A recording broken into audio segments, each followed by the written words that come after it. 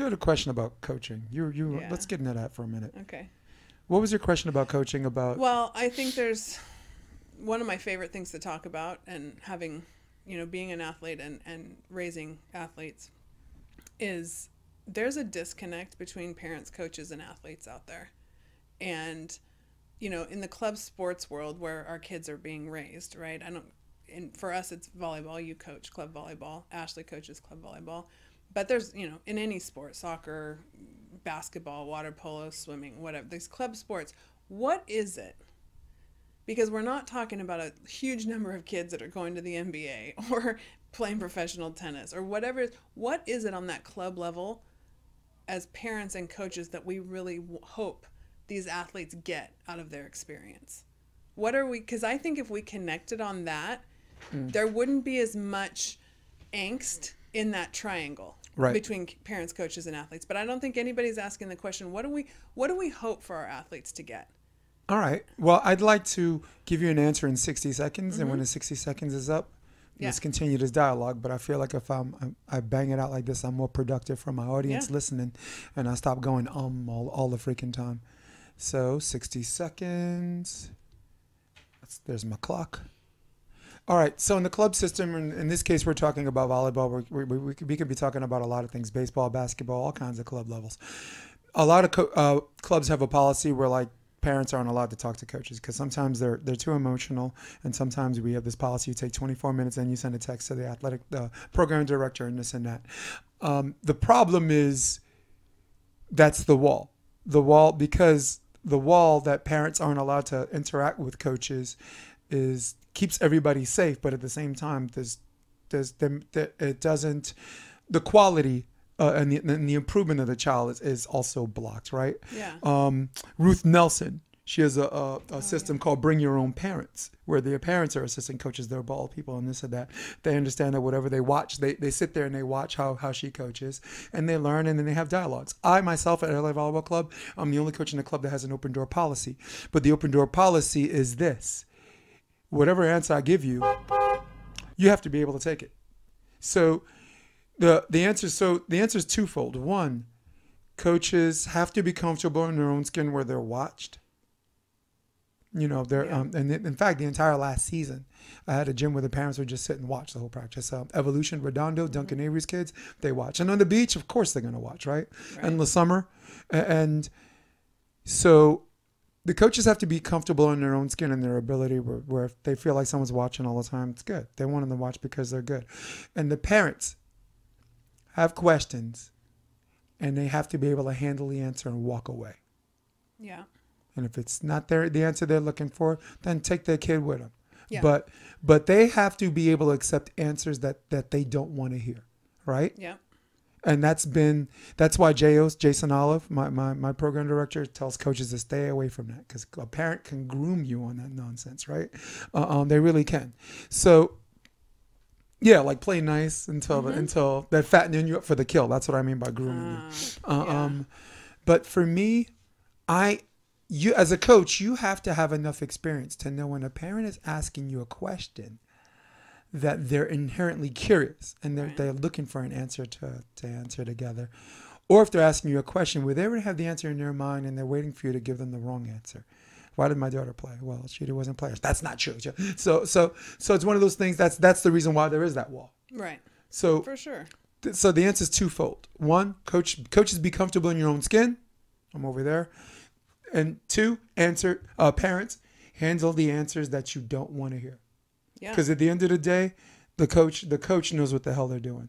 Don't come don't don't don't roll up on me talking about this is 14. They're you know they're in this hormonal thing in their youth. No, if you've been coaching for a decade, you you've Yeah. this isn't this isn't new parents. This isn't new territory for coaches. Yeah. It's not like just because it's your kid and you're going through that experience doesn't mean the coach lacks lacks the knowledge, experience, or will or or, or interpretive interpretive um um uh, uh, evaluation of where that kid is. Yeah. They're probably in, in many ways they're better than you are. you Yeah. know, and, and so, but that's the answer to your question. There has to be a a, a humbling on both sides of that aisle. Yes. The coach has to be arrogant enough to know that whoever's watching he doesn't care, but humble enough to Yeah. to uh, be open to new ideas, Well, and the and I- parent has to be able to take answers they don't want to hear. Yeah. And I think there's two things that comes down to. I mean, there's probably more than that, but the two things that come to my mind are for parents to realize it's more about their kid's journey mm-hmm. and then- and ask themselves if they're overly attaching to their child's journey in sports. And hmm. and the second one for coaches Ooh. is to ask themselves how attached they are to the athlete's development and not their own ego. Right. Right. So if you can get those two things right, I think you heal that relationship a lot. And and it, in the end, what we're trying to do is benefit benefit the athlete and then raise kids through sports. So if your kid is passionate about a certain sport and they're spending that much time playing it, what that really is is a development for their life, right? So what are the things they're learning outside of the technical aspect of sport that are making them a better human being? Right. Because if you're passionate about something, that's your roadmap for how you're going to become a better person. And that's what we're really trying to raise. At least that's my theory. So, Hey, people on the podcast, if you're waiting for us to talk about this, sorry you had to wait an hour. oh my God, I love I love being a, a podcast host. Uh, um, yeah, sorry you had to wait an hour for to get to the good stuff and the most important stuff, our kids, right? So, yep. yeah, uh, um, and it's weird because living vicariously through your kids, there's no middle ground. It's like really, really good or it's really, really bad and nothing in between. Isn't it just crazy? Yeah. Like, Instead of just like being there for them and writing, like embracing the highs and Mm-hmm. loving those moments, and then realizing that the challenge is where they're like, where the gold of your, the bond of your relationship Yeah. is built. Like you don't just get to have high highs. They're going to have those days that suck, that like you're so challenged. But that's where the bond is built. right. It's not when they're winning the championship. But that's that's the importance of club vol- of club sports. Exactly, Not club yeah. volleyball, club Yeah. sports. Yeah. The other reason is, and this is something I wanted to say on a general level, the first time that your child ever deals with a, a, a meaningful loss, most likely is in, is in a sporting event. Yeah. They're a little too young to be burying, you know, parents or grandparents or whatever. But the first meaningful loss on on that scale, Mm-hmm. um, You almost hope that's what their first Yeah. meaningful loss is. It's a great place to learn. but dealing with it, Yeah. you know, Yeah. isn't a sporting event. yeah, handle it compartmentalize when do you hold your head up yeah, uh, do you do it when people's watching do you do you behave a certain way to put Yeah. on the front? Do you do you, is it okay to cry? Is it is it yeah, you know do you want people are you do you need to be alone for this moment? Do you need a moment alone or or can someone take those moments with you? Yeah, these are these are these are things that shape a kid's personality in a huge uh, um, way. or or changes it for the better or for worse. Yeah, right? And depending on the level that they rise to in sports, Mhm. those lessons they learn younger.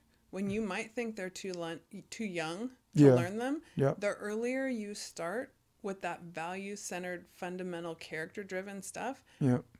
you hope they have the talent to get to a the highest level they can get to. Right. But they're going to handle that higher level better if you're building that character and that value system Yes. from a young age. And there's some things you want them to be themselves. You get that because you don't want you're not trying to re- re- re- repress No, or depress absolutely not. uh, self-expression, Right.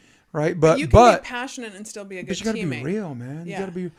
I'll give you an example. Natalie Myszkowski. She's at UCLA. I used to coach her at Endless Summer, Yeah. and she um she's you know wound up at a uh, I think elite or whatever like her senior year maybe the her 17s or whatever. But I know cutting the ribbon, doing the construction, whole other conversation. Um, but you know AVP first. She's in the finals. She's on center court, and she lost, and and and it was one of these things where she was hysterical because she wanted to be she needed her moment alone didn't want people to talk to her which unfortunately it was included to the coach and and i waited for her to do her thing and she, she she'll remember this because she got a little bratty. But the problem was it was on center court and you know you had recruiters watching and this and that and and um, i waited 24 hours just to talk to her about that. I said look first of all you ever do that to me again you find yourself another coach. I'm not having it. Which is I, I guess is what she did. But um um no but i said second of all you you're, you're saying I want to be this elite college player. You're saying I, I want to be able to do this, and it's not just on court things you have to deal with.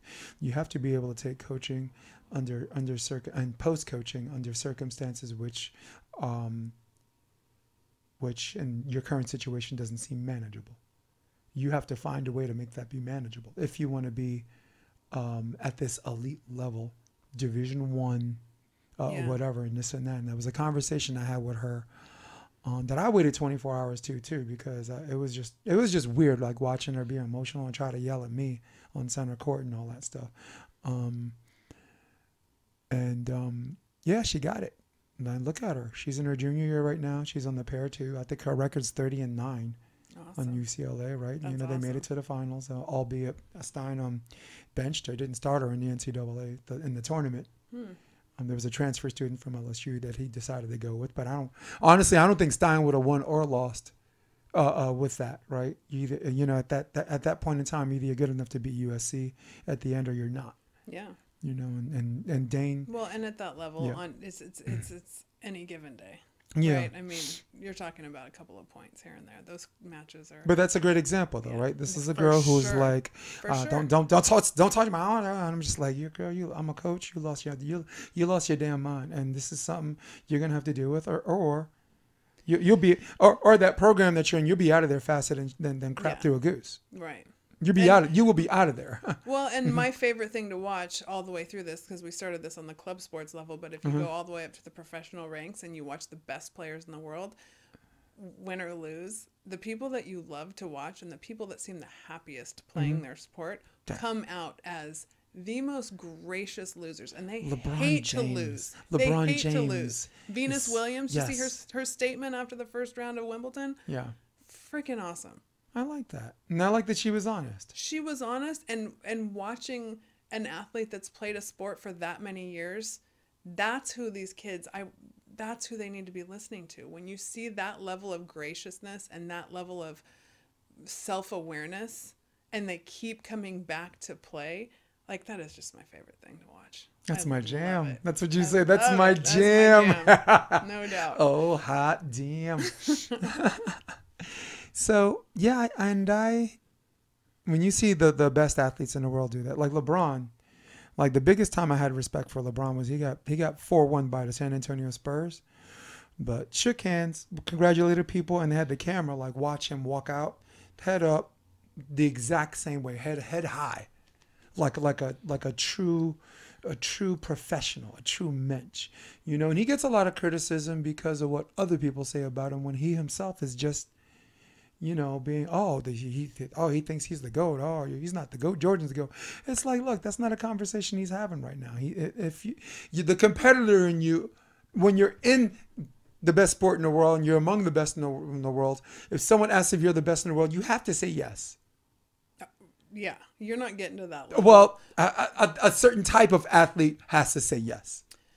You know, some people will be and like, I'll be "Oh, honest, that's not. I understand why mm-hmm. that's who he is. That's not my favorite kind of athlete. right." But I don't like false humility either. Like I want, like Hell yeah, hell yeah! It's, here it is. Here's Trevor. Actually, really cool video. And spin that. Ready? Best player in the world. Are you the best player in the world? I'm gonna keep it simple. Yes. Yes. Yes. Yes. Did you see the end? Yes. I'm, going to show you again. Watch his eyes like, on the third zoom in. Yes. Watch the third one. Yes. Did, did you see that that little moment? Like, player in the world. like you got me. You, you you know I'm not. There's this thing in the in, the- in the corner of his eye, like you made me say it. you made me say it. So um, I get, I get it. I get having to believe it, and because they all believe it. It's just do should- you, the you question is do you just say it level. or are you, are you honest with the public and and and throw and throw it out there for them to criticize uh, and and stand and tall not care and stand tall Yeah, like LeBron care. did. Yeah, Yes. Yeah. for sure. But And- most of them don't say that because Well, they if they say that they, they're not ready for the blowback if it doesn't happen. yeah, but who's criticizing? Not anybody that's out there playing them. no. So who cares, No. right? I mean, I wish I was that. on one level. I mean, anyone that hasn't played at that level, we're watching it because Mm-hmm. we're in awe of what they can do. I love watching sports because there's always someone better. Yep. But When on I- any given day at that level, you could be you're you could be the winner. So why wouldn't you believe it? Yep. Right. When I played in Germany, um, what I did, unwittingly or not, I don't know if I meant to do this, but it, it historically happened. So, warm ups. When we're doing warm ups, you know, I get a hit and just hit, you know, throw on straight down, and there's, there's some music, so I'm walking around, and then then I start doing this, boom, boom, and the fans, like the audience starts, or the fans start watching me, So and fun. I'm, I'm, I do a twirl, I do like a little spin, and what I didn't know or what I what I was doing unwittingly or not was attracting a whole bunch of attention. Where like the audience is like, if this guy's doing all this, he better be good. And it was cool because I was ready to deal with the result. It's not like I was one of those people that would play the victim where this guy, everyone's like, "Oh, this guy's dancing around and he sucks." I, I, I, if I sucked that day, I, I, I could take it. Uh, but what it did for me in a beneficiary uh, manner is that it put this amount of pressure on me, knowing that if I make mistakes, uh, um, it's gonna it's gonna stick out three times more. But yeah. but But that, that pressure you put you on up. yourself made you perform, Yes. made you um, uh, um, pursue perfection. Right. And well, that's what the best athletes use pressure Yeah, in a beneficial way. right. And that's really fun to watch too. Right. I um I have this quote uh, that I use for all my kids, and it's that's going to change because I just won Coach of the Year for all all all the other reasons that go beyond my coaching uh, um uh, gut. You know, my foundation. It, it it it goes against it. It was about how you play the game instead of winning or losing. Yeah. you know. So my quote is this: um, Greatness is man's failed attempt in his pursuit of perfection. Yeah. Greatness is achieved when man, when man or woman, if you will, or they, uh, um, achieves, uh, uh, fails, because you, you you you can never ever be perfect. No. No, you. I mean, so you fail at perfection, but you submit your greatness. Yeah. So, yeah, but um, I'm actually gonna do a picture of the trophy because it means something to me, and I, I don't mean to get all local level on this podcast that everyone sees on this bigger scale, but I took a little video at the beginning. I'll, There I'll it throw is. it I'm gonna zoom in on it. So I got this trophy from LA, LA, Los Angeles volleyball, right? And um, I had this speech, and you'll appreciate this speech because I want you to take over because you're, you're you're Wendy Jones. Everybody is- the last of the Red Hot Power women. She got a son at Stanford, had a daughter that, you know, outside hitter at Stanford, a former Oppo right now, to Op, right? Yeah. and your daughter played for Hector at Texas Christian beach volleyball. So Yep, she's just spout. She just spout. She she was just spouting them out. Power women. So I have this quote, um, and it's always kept everyone around me humble. Uh, Bill Parcells says, "You you are what your record says you are." Right. Um, one of his other favorite quotes is, "You can't be a prima donna and lose. You can be a prima donna and win, but you can't be a prima donna and lose." So there are a lot when I'm around people who are kind of strutting their stuff, whether it's club, whether it's AVP or whatever, and they walk around like they're the shiznick or whatever. When you say out loud, "You are what your record says you are," it just everybody just snaps to, whips back, whips back to normalcy. Calm yourself, right? Mm-hmm. Because it was always everyone was saying like, unless you're that, you can't walk like that.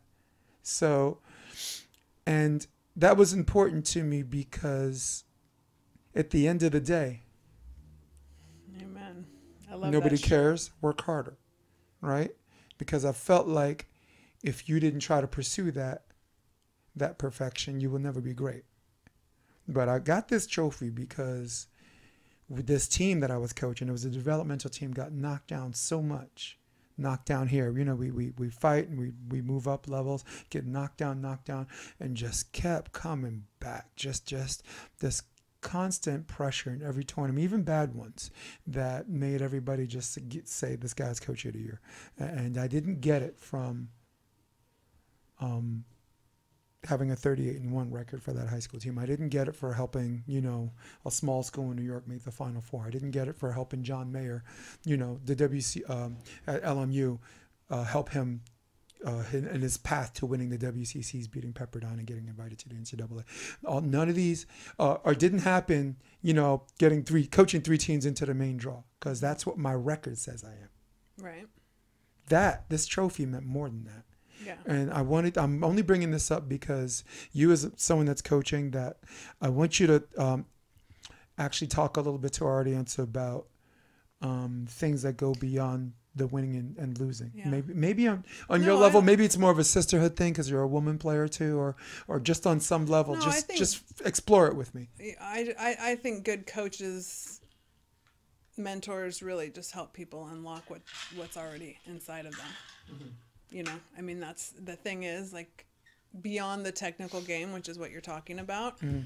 we all have qualities within us that sometimes we need people to help us kind of excavate and i think that's what good coaches do right. like really help a help a kid see what they're good at help them everyone's got a way to lead you could be a quiet leader you could be a you know for me i always talk tell people i, I, I walk around gyms and look for the gentle giants because that was what i was right? The middle blockers that you're like oh god like every like sport you could be so every sport the giants are meant a few words. right? Like you could be so powerful but you, they don't know that yet. Yeah.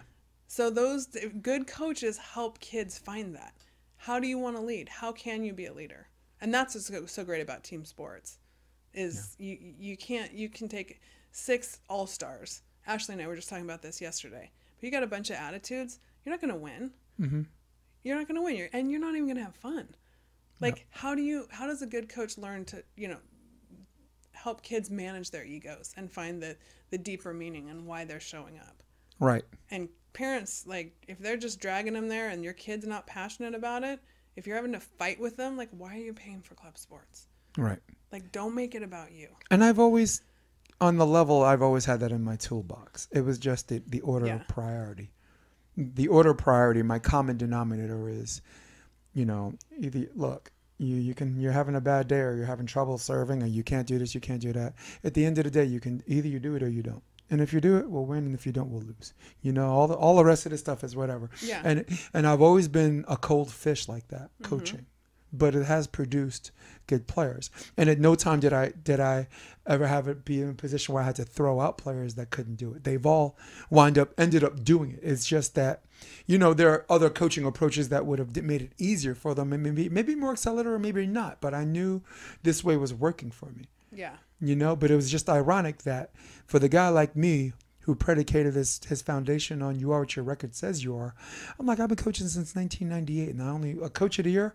I've only won that once, mm-hmm. you know? And when you're coaching, you don't care because coaches out there and all the coaches will agree when you're out there coaching you're not thinking oh my god when i get when i come back from vegas i'm going to get coach here that's not what you're thinking you're thinking about the kids you're thinking about them getting better. You're thinking about the, co- the collective unit. You're thinking about the other coaches who you're helping and who are helping you around you. Yeah. And then, as a distant third, on a month that starts with a letter R, right? You care about the parents, right? So, um, yeah and it's so weird. It's only happened like Madison Square Garden uh, yeah. gave me Coach in 2014. That was the only time.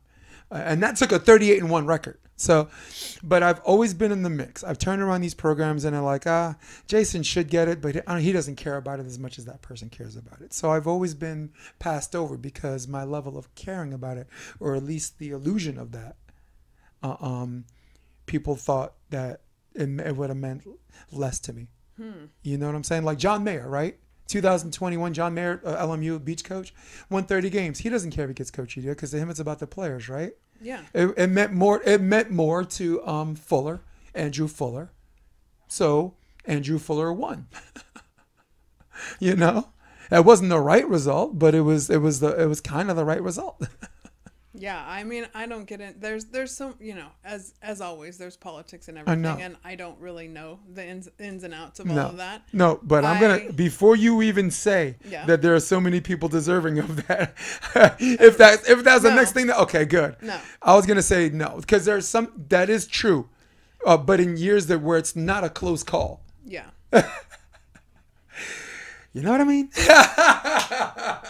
you're much more attached to that race than than I was. I'm not anymore. After yeah. after that happened, I don't I don't watch it anymore. I don't, I don't you know I'm like fine. You got you guys lost another one. You guys lost a real one because of that. I don't care about you guys anymore.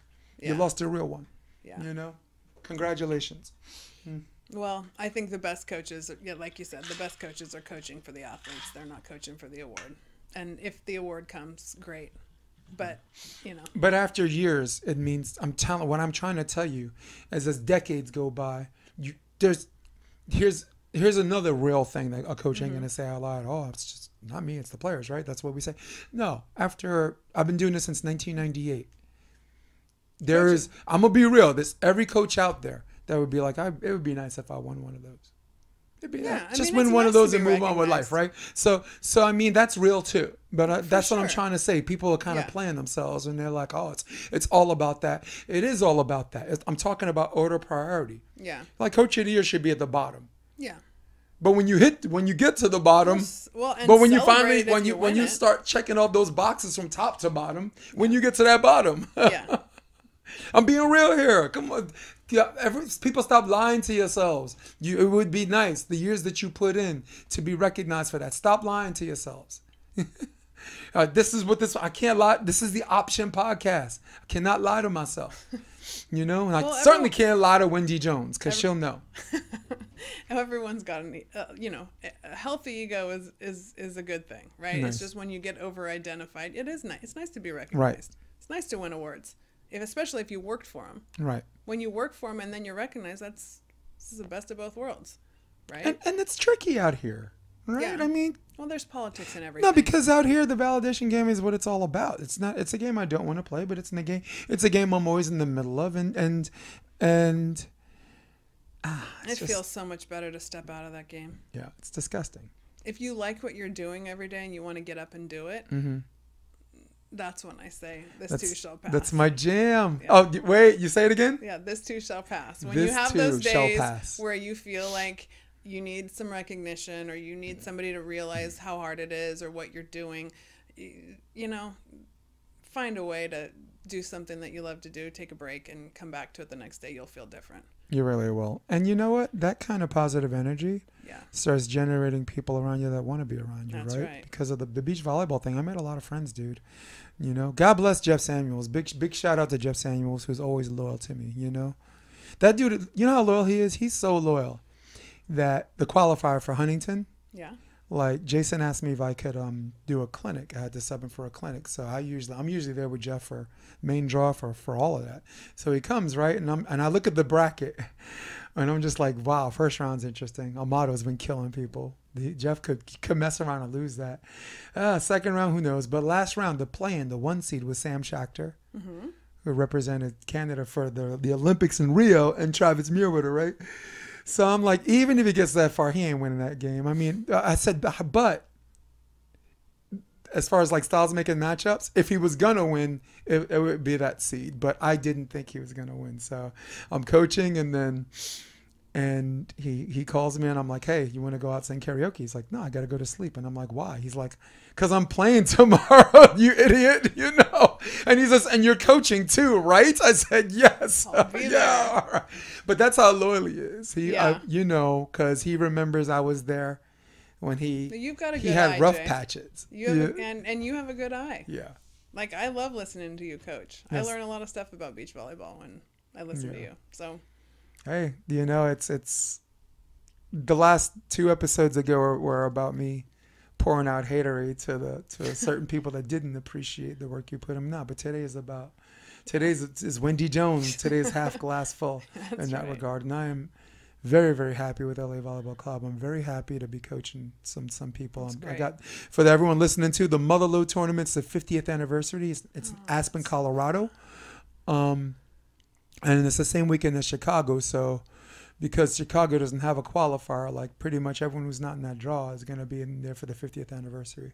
that's really cool. Um, they're doing a broadcast. I'll give you the information on that in the coming months. Uh, Randy Stoklos will be the color commentary. Randy, the king of the beach, uh, Legend. John, right? Yep. Uh, Rolo Vincent. And they asked Randy, they said, who do you want to be your play-by-play guy? Um, he says that guy with the Yankee hat. So Right on. Jason and Randy are back again. awesome.